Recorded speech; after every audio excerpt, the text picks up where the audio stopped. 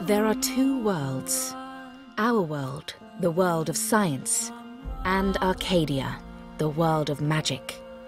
Dreams connect these parallel worlds, but a dark force threatens the very fabric of dreams. Zoe Castillo holds the power to shape dreams and save us from the undreaming, but she is trapped in a place called the Storytime. Kian Alvane is destined to play an important role in the war to come, but he faces execution for treason against his own people. They are both about to be reborn. A new story is about to begin. Their paths will intersect, and at the end of their journey, they will face the thief of dreams.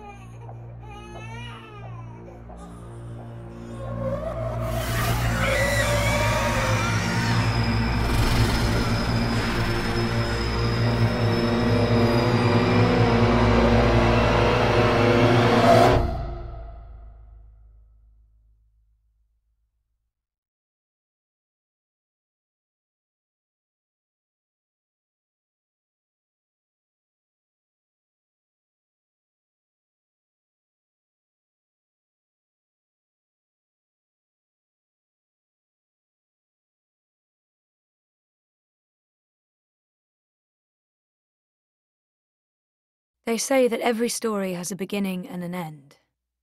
But that isn't always the case. Some stories simply stop. My name is Zoe Castillo. I'm dying. I've been in a coma for over a year. The doctors don't believe I'll ever wake up again. My mother did this to me. She put me here so that I wouldn't be able to tell my story, so that she could keep her secrets. It worked. The world is addicted to dreams, to dream time. It's just entertainment. They have no idea what the dream machine is really for and what it's doing to the world. They don't know that someone is stealing their dreams, using them to reshape reality. So, if I'm in a coma, how am I talking to you? The thing is, my body may be here in a hospital, but my mind.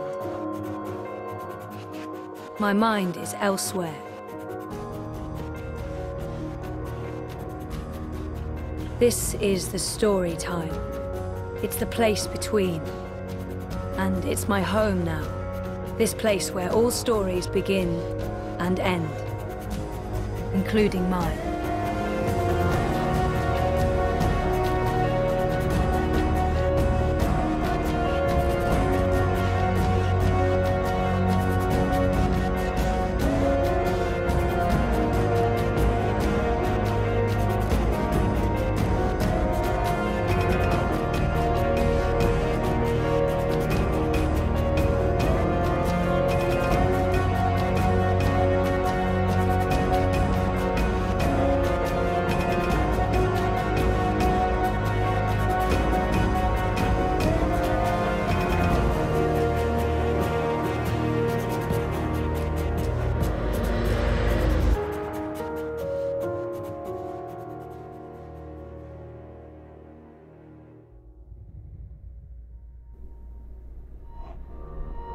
Story time. I don't know how long I've been here. Six months? Nine? Those lights are people. Spirits, souls, whatever you want to call them.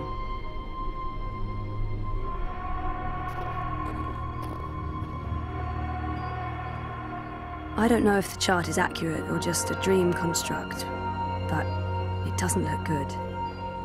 That line should be pointing up, not down. Wonkers. My old Watilla. That was taken when Reza and I were still dating. Feels like a different lifetime.